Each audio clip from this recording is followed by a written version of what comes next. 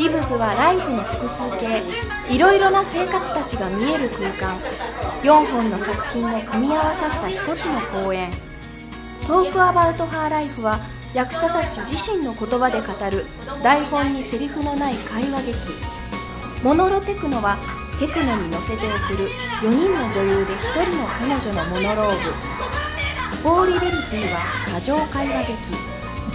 生活のリズムは挨拶の言葉だけで送る2人の生活劇。バグダッドカフェが送る言葉の空間。SP 水曜劇場に登場。